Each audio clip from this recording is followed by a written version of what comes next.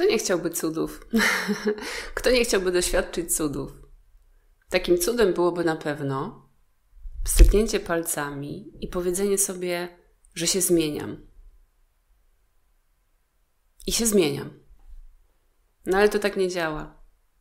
To tak nie działa, bo my mamy różne przyzwyczajenia, my mamy różne naleciałości. Nie wiadomo, kiedy ktoś nam wdrukował coś.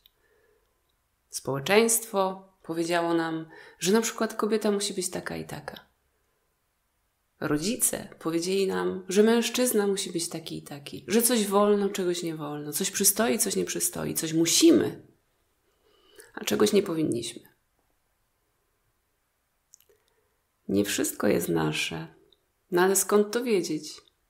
A jeżeli wiemy, że coś nie jest nasze, to teraz jak to od siebie odlepić? No i to jest proces.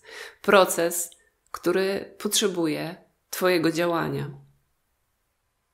Twojego działania krok po kroku, dzień za dniem. To nie dzieje się samo. I tu właśnie wkracza medytacja. Dlaczego? Dlatego, że medytacja, ten proces, który się dzieje, pomaga nam uwrażliwić się na siebie. Zyskujemy uważność i zauważamy, co jest nasze, a co nie jest nasze. Pomaga nam znaleźć drogę do zmiany, drogę do pracy nad sobą. I nie ma tutaj fajerwerków, i nie obiecuję ci, że stanie się to po jednym siadnięciu do medytacji. Ale zmiana się zadzieje, jeżeli podejmiesz pracę, jeżeli dasz sobie czas, jeżeli dasz sobie prawo, żeby odnaleźć siebie. Znasz to zdanie?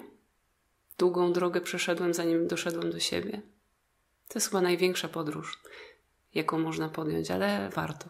Naprawdę warto, warto, bo masz prawo do szczęścia. Masz prawo do czucia się dobrze. Masz prawo do bycia sobą. Medytuj codziennie. Możesz ze mną.